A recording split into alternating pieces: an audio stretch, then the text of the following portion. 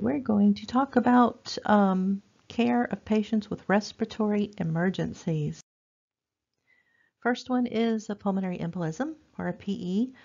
We, um, we run into that uh, quite often. This is um, when somebody has a DVT. We always look for those um, deep vein thrombosis and what concerns us and why we try to get those dissolved with blood thinners as quick as possible is we do not want it to become a pulmonary embolism when basically it travels. It can travel and basically block off the um, uh, arteries into the lungs, and this is potentially fatal. Um, so um, here's an example picture of a pulmonary embolism. And it's pulmonary embolism with infarction, meaning it is blocking the blood flow, blocking oxygen, and tissue is dying. Risk factors for PE is prolonged immobilization. That would be, of course, like your surgery patients that are bedridden. This is why we try to get people up as soon as possible, get them up and walking, getting them moving. Um, people that take long flights, uh, overseas international flights, they're advised to get up and walk around some during the flight, not to sit still the whole time because that will put them at risk of getting a DVT, which of course can then uh, progress to a PE. Um, other things, pregnancy, obesity, advancing age, um, cancer is it's I don't see it on here, but uh, cancer. For some reason, cancer makes blood um, thicker and sticky, and uh, people with cancer have a major risk of um, developing a PE. Of course, our patients are um, always advised to stop smoking, to lose weight, become active. If they're traveling, they need to drink plenty of water. They need to change positions often, not cross their legs. They need to get up and move around at least for five minutes of every hour. Some things that we would look for um, would be some respiratory um, issues, um, physical assessments like with respiratory, you would hear diminished breath sounds. Um, they'll feel very anxious. They get very anxious. Whenever people start having respiratory issues, they get very restless and very anxious. Um, think about that. If you have a patient that's suddenly becoming very anxious or restless and wanting to get up and move around, think respiratory. Um, my father passed away because he was having respiratory issues and was anxious and restless trying to get up. And in the hospital, they pretty much forced him to lay down, and he uh, he passed away. So make sure you put that in the back of your mind that that could be a cause. I'm not saying it is a cause all the time, but it can be. Um, there are some um, blood work that can look for this. Um, D-dimer is a big one that um, they look for, um, can determine um, uh, for like a PE. And of course imaging, a CT, that's uh, pretty, uh, pretty standard. all right, that was it for PE. Going on to acute respiratory failure. This is, look at that, O2 less than 60. This is definitely acute respiratory failure, right? Could be from the ventilator failing. It could be an oxygenation failure just in, within the body, or it could be a combination of the two. Um, of course, difficulty breathing. They um, don't want to lay flat. They always want to sit up. Uh, that tripod position is always classic for respiratory failure when people want to sit up and like lean forward. Um, you want to, uh, of course, check the ABGs, look again for that restlessness and agitation. Oxygen therapy, drug therapy, position of comfort. Um, when someone is in acute respiratory failure or in acute respiratory distress syndrome, ARDS, which we'll talk about next, I believe, um, prone, put them in a prone position, proning. It's basically putting them on their stomach. Um, that puts the lungs in the most natural position and it's the um, best way for the lungs to expand.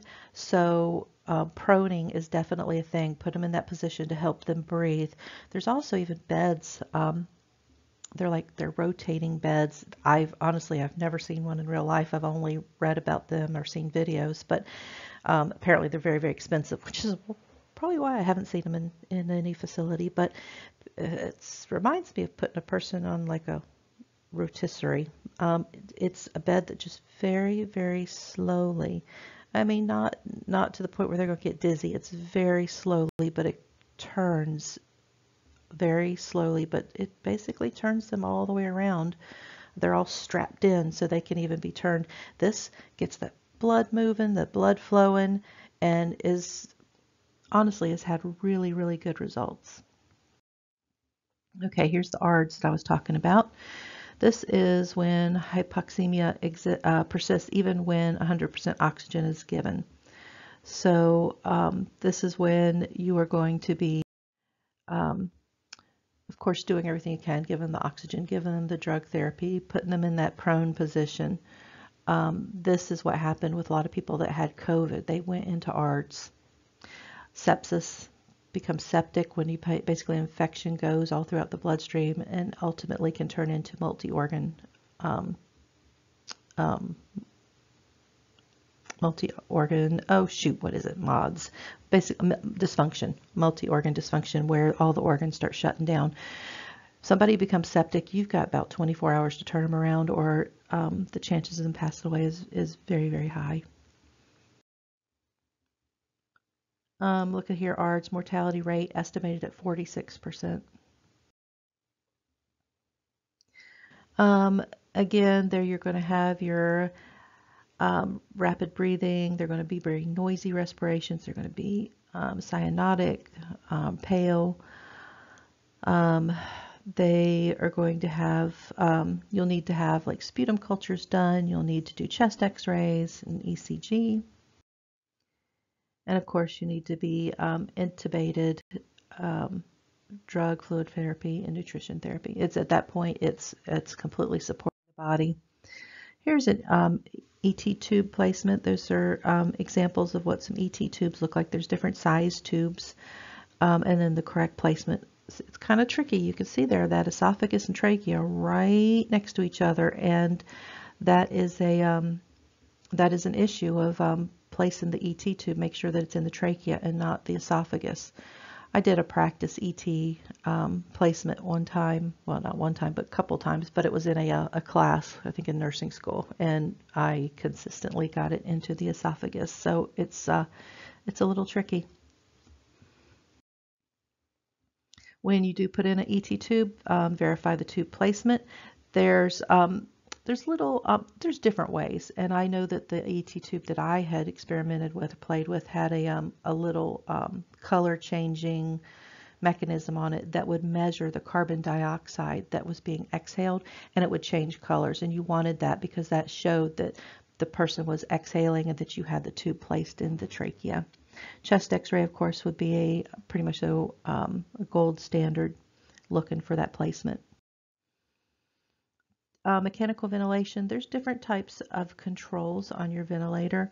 There's a, lot of them that will do all the work for the patient, completely breathes for them. There's others that are like assisted, where the patient's breathing on their own, but if they're not taking enough breaths, the machine will, will kick in and breathe for them.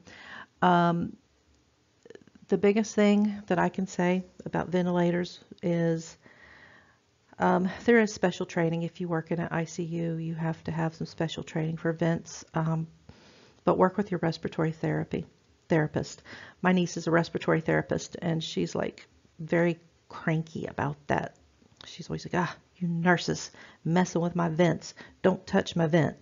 So, you know, that's uh, the easy way out is to, uh, if you have any questions about your vent, call your respiratory therapist, let them come mess with it because otherwise they'll bite your head off. Just kidding. They may not. I just know that this is what I was I was told by my uh, RT niece. Um, when you have a ventilator issue, always look at your patient first. Matter of fact, not even ventilator, all machines. Always look at your patient first.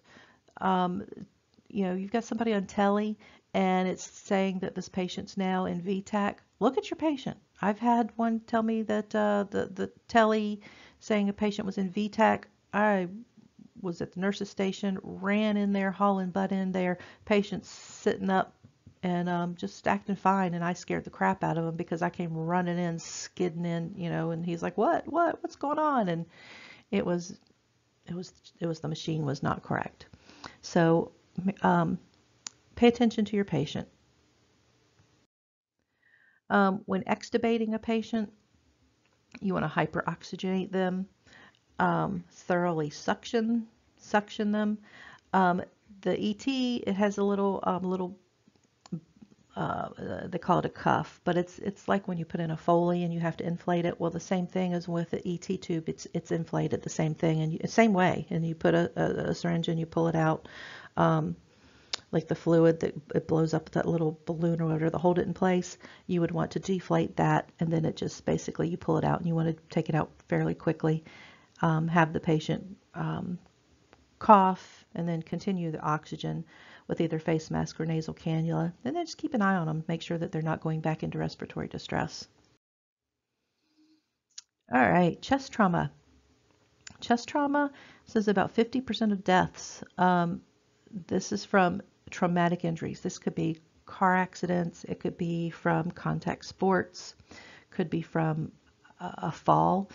Um, Different types of chest trauma, pulmonary contusion, rib fractures, flail chest, pneumothorax, hemothorax, or tension pneumothorax. Pulmonary contusion, um, that is again where um, could be from uh, trauma um, to the chest and it's damaging the tissues of the lung it could be asymptomatic at first, but then they suddenly start going into respiratory failure. They're going to have decreased breath sounds, crackles, wheezes, and basically the big thing is to just support them with oxygenation. A rib fracture, um, again, this is could be from uh, uh, trauma.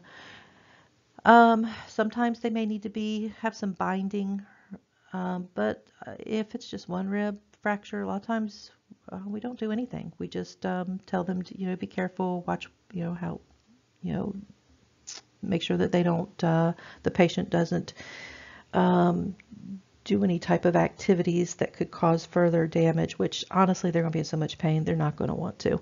So the big, big thing that we do is just pain management. Flail chest.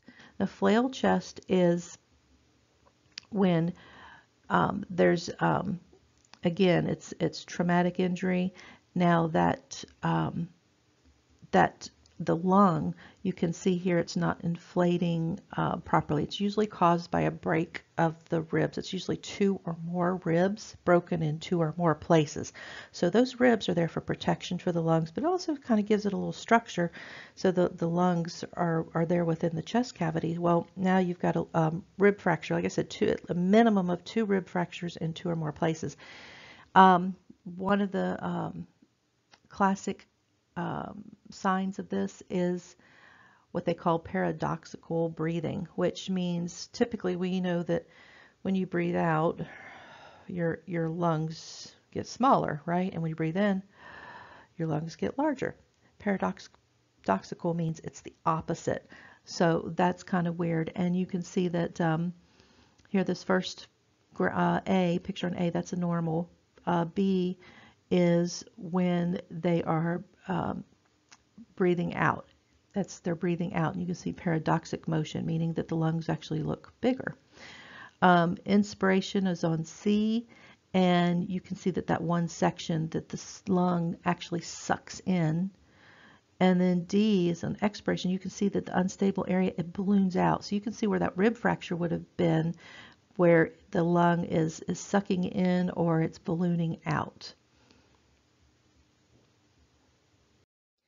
Um, and then we have a tension pneumothorax, and that is basically where the lung space is. There's a lot of air in there, and the lung cannot expand because the air is in the way. It's it's not allowing it to expand. It could be also um, a um, uh, a hemothorax, uh, which it's, it's blood. It could be all blood filled there. That could all be full of blood, not letting it expand, or it could be air.